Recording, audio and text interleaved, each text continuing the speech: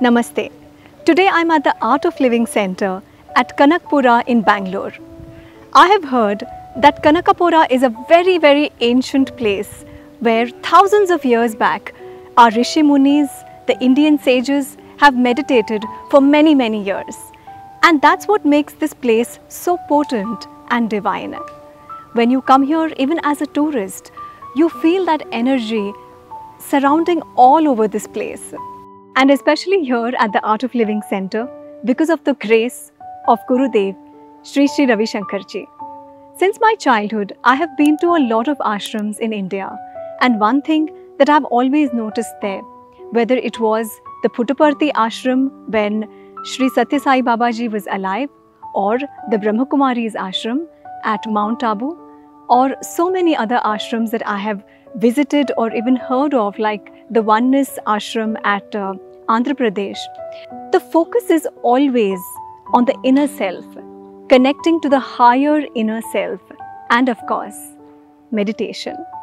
And it gives me immense pleasure and joy that religion is never the focus in our ashrams in India. It's always connecting to your higher self and meditation.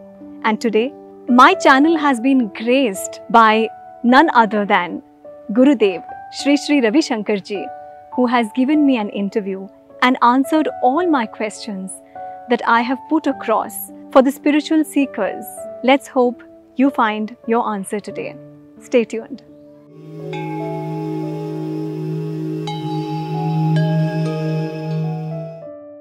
Jai Gurudev, thank you so much for gracing my channel.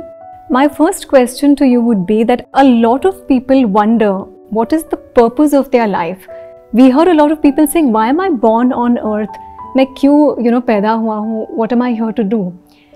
Would I be right in saying that one of the highest purposes of our life is to do seva unconditionally and not only to our immediate family members but to reach out to the entire world? Correct.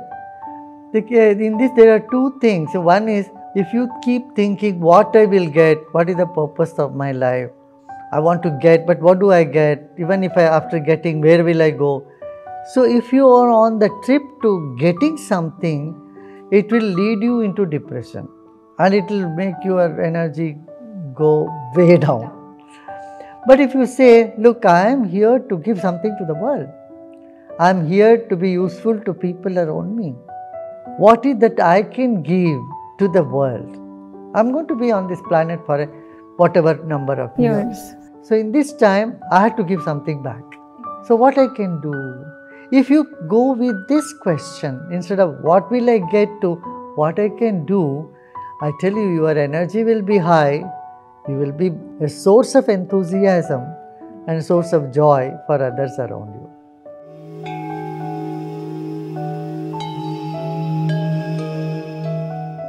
in India and of course in the West, everybody has this, you know, fear of nazar, buri nazar, evil eye in the Western countries, they, they call it. How does one keep our aura protected at all times? ओ बहुत सा- आसान है it's very easy बुरी नज़र से नज़र उतरवा दो जिन्हें नज़र उतारना भी रखते we do that just some salt take some salt around your head and throw it in the water you know salt has such a purifying impact on our aura. Uh, salt bath is, is a common thing. You know, when you take bath, put some salt in the bathtub and those things are good. Oil bath. People oil. take oil, even that cleanses our aura. And most important is meditation. If you do meditation, it forms a kavach. Then Om Namah Shivaya mantra. Even if you sit and chant for five minutes, Om Namah Shivaya, Om Namah Shivaya, that om namah shivaya mantra's vibration forms a shield around you and it prevents any type of negative influence coming towards you Also, I want to ask if we have ever been initiated in any Guru mantra, and uh, if the mantra and Om Namah Shivaya or any other mantra for protection are different, is that fine? That's okay. That's, That's okay. That's okay. That's okay. You know your Guru mantra, whatever you are, you chant that. That is fine. That is for you to go deep in meditation. Om Namah Shivaya is the general mantra which is for protection, because it has all the five elements. It covers all the five elements, which the entire world is all about. So, Om Namah Shivaya is a very, very uh, known, ancient, and powerful mantra to bring protection.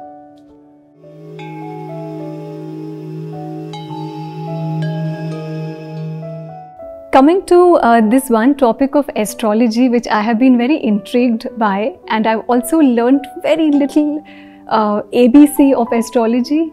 And um, uh, हमारे our uh, Muni Parashar and uh, Jaimini, they have taught uh, or rather introduced this uh, science of astrology in, in our legacy. And I believe in the, the power of this Vidya, which, which is Jyotish Shastra. When we see any horoscope, we see past and future. And if we go to an astrologer, if anybody goes to an astrologer and the astrologer doesn't have positive things to say for our future, do we have any power in this life to control the effects of our birth chart? Yes, yes, yes. See, astrologers uh, should actually say positive more and negative less. But if they say negative more, never mind.